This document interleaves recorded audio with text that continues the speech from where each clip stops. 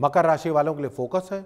जिन लोगों की विवाह की बात चल रही है, अविवाहित हैं, खासकर कन्याओं की, उनको शुभ समाचार मिल सकता है।